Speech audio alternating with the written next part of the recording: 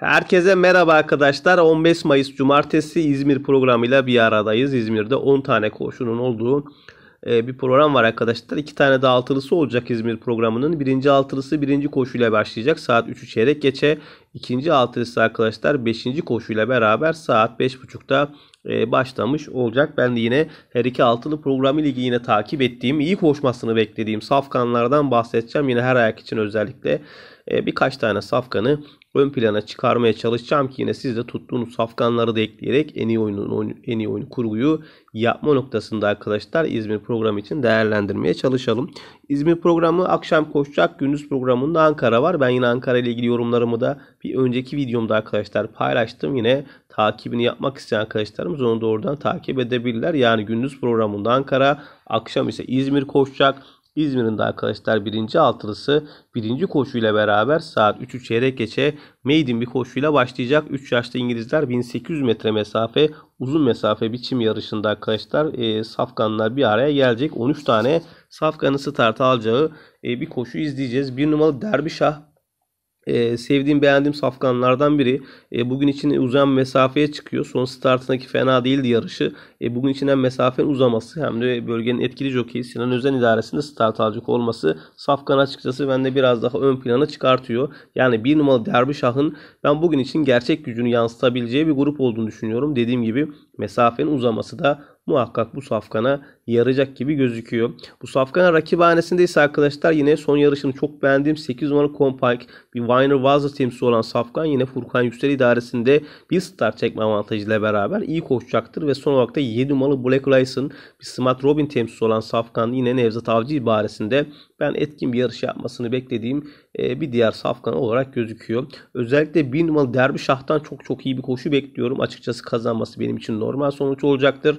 Rakip hanesinde ise arkadaşlar 8 ve 7 numaralı safkanlara gün ilk ayında arkadaşlar şanslı safkan konumunda değerlendirebiliriz. Günün ikinci ayına geldiğimizde ise şart düş bir koşu var. Dişler has olacak bu koşu 3 yaşlı İngilizleri 1800 metre mesafe çimde bir araya getirecek 12 tane yine safkanı start alacağı bir izleyeceğiz arkadaşlar günün bu ayında. E, çok be beklentimin olduğu ki son startına tek verdiğim bir arası olan 7 numaralı Künka Akarca önemli bir safkan. E, çok etkin bir performans. Önemli pedigriye sahip bir safkan. Son startını çok kolay kazandı bilindiği gibi. Verdiği bir ara var. Dişlik yarışı yapacağını düşünüyorum ki Çin pist e, ilk defa çıkacak ama ben uyum sorunu yaşamayacağını düşünüyorum Safkan'ın. E, bugün için ben etkin yarış yapmasını beklediğim e, gruptan da açıkçası biraz daha fazla bir isim olduğunu düşündüğüm 7 numaralı Kyung Akarca'dan bugün için bu zor grupta arkadaşlar kesinlikle iyi bir koşu bekliyorum. Sinan idaresinde start alacak olan Safkan'ın ben muhakkak te, e, kuponlarda şanslı Safkan konumunda değerlendirilmesinin doğru olacağını düşünüyorum. Yani 7 numaralı Kyung Akarca'dan çok çok iyi bir koşu gelecektir. Bu Safkan rakibhanesinde ise yine 8 numaralı Brabe bir gör arkadaşlar. Mustafa Çiçek idaresinde kuponlara denenebilir ve e, yine uzayan mesafede etkin koşu yapmasını bekledim. 1 numara Crazy Lyden'da yine burada kuponlarda şans verilmesi gereken bir diğer safkan olduğunu düşünüyorum arkadaşlar. Günün ikinci ayı için özellikle 7 numaralı safkandan iyi bir koşu bekliyorum. Rakibhanesinde ise arkadaşlar bu zor ve dengeli grupta ben özellikle yine 1 ve 8 numaralı safkanları şanslı görüyorum. Bütçemiz dahilinde yine tuttuğunuz safkanlar varsa arkadaşlar günün boya için denenebilir olarak gözüküyor. Günün 3. koşusuna geldiğimizde ise şart düş bir koşu var. 4 ve yukarı Araplar 1200 metre mesafe çimde start alacak. 16 tane arkadaşlar Safkan'ın start alacağı bir koşu izleyeceğiz günün bu ayağında. Gruptan tabi farklı bir isim olan bir numaralı Aslan Turbo e, son yarışlarında her ne kadar tabela dışı gibi gözükse de fena değildi. Yakın ara yarışlar yaptı. Mustafa Çiğ idaresinde start alıyor. Bugün için burada hem de mesafenin de uyumlu sağlayacağını düşündüğüm Safkan'dan etkin bir koşu gelecektir gibi gözüküyor. Yani bir numaralı Aslan Turbo'yu muhakkak denemek lazım ama tabi bu mesafeyi çok iyi koşan önemli safkanlar var. 3 numaralı Kutup gibi son startı oldukça etkin oldu safkanın ki bu mesafede iyi koşuyor. Tolga Yıldız idaresinde muhakkak denenmeli yine. 5 numaralı Beğenli Sultan yine Bekir Mert Mırık idaresinde bu mesafe iyi koşan etkin safkanlardan biri. Ve 13 numaralı yine Madamelli yine etkin mesafesinde koşacak olan safkanlar açıkçası biraz daha ön plana çıkıyor. Yani 1-3 5 ve 13 numaralı safkanları ben çok eşit şanslı görüyorum. Bu safkanlar arkadaşlar muhakkak deneyelim. Ama özellikle tabi dediğim gibi 3 numaralı kutup için biraz daha mesafe uyumu ve son yarışı gösterdiği performansta bu 4 safkandan biraz daha ön planda görebiliriz arkadaşlar günün bu ayağında. Günün dördüncü koşusuyla beraber günün yedili plasesi arkadaşlar başlamış olacak. Şartlı 3 bir koşu var. 3 yaşlı Araplar start alıyor. 1100 metre mesafe kumda 4 tane safkanın e, start alacağı e, bir koşu izleyeceğiz günün boyanda. Bir numaralı nal dökenli için ben kolay bir yarış olmasını bekliyorum açıkçası. Safkan son startını zaten çok etkin ve güzel koştu. Bugün içinde ben e, bilinen Kazberg özelliklerinde olan inatçı karakteriyle ki rakibine de ben hakimiyet sağlayacağını düşünüyorum Safkan'ın. Son yarışında ne kadar etkin bir formda olduğunu gösteren Safkan'dan yine etkin bir koşu gelecektir ve bugün için buradaki rakiplerine hakimiyet sağlamasını bekliyorum. Yani bir numaralı nal dökenli arkadaşlar kuponlarımızda risk edilebilir olarak görüyorum. Günün 5. koşusuyla beraber arkadaşlar günün ikinci altılısı da başlamış olacak. Maiden bir koşu var. 3 yaşta İngilizler start alıyor. 1800 metre mesafe çimde koşacak 13 tane safkanın start alacağı bir koşu olacak günün bayağı. Tabi önemli safkanlar var. Daha doğrusu aslında maiden yarışlarının artık önemli safkanına gelen her yarışında iyi koşan 9 numaralı Marcus 10 numaralı Matrons gibi artık e, maiden yarışlarının gediklisi haline geldiler ve son yarışlarında özellikle hep çok yakın ara etkin yarışlar yapıyorlar. Bu safkanlar biraz açıkçası gruptan ayrılıyor.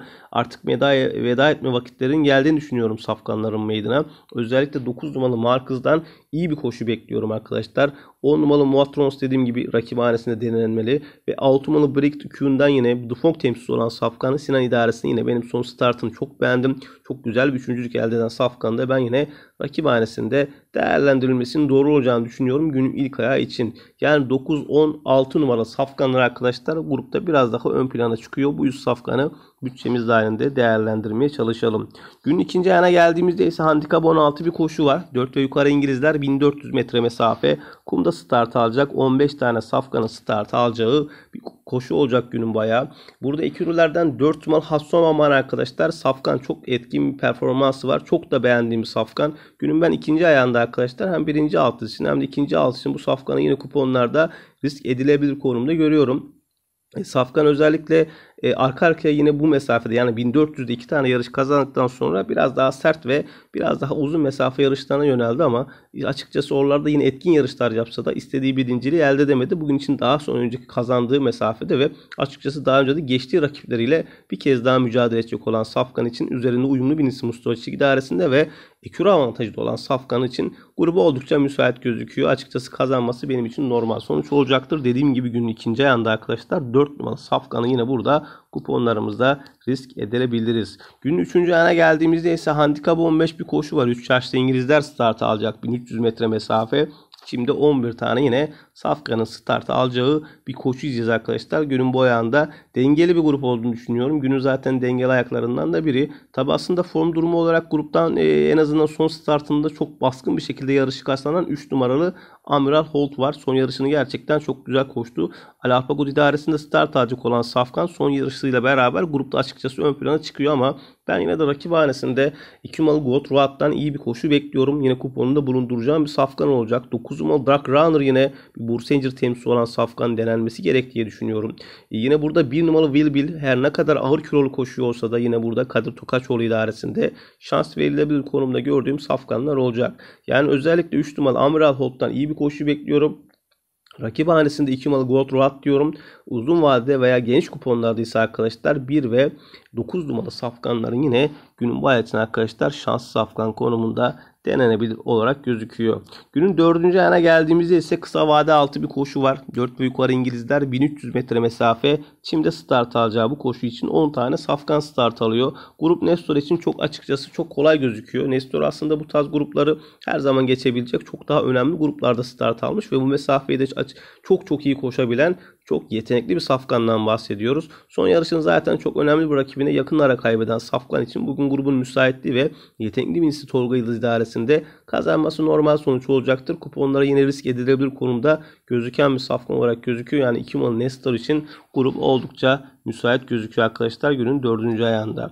Günün 5. ayağına geldiğimizde ise maiden bir koşu var. 3 yaşta İngilizler start alacak. 1800 metre mesafe Çim'de start alacak. 10 tane 14 e, tane safkanın bir araya geldiği bir koşu var arkadaşlar. 3 numaralı Koç Volkan E, açıkçası bu tarz gruplarda artık e, devamlı isminde bahsettiğimiz bir safkan. iyi de koşuyor.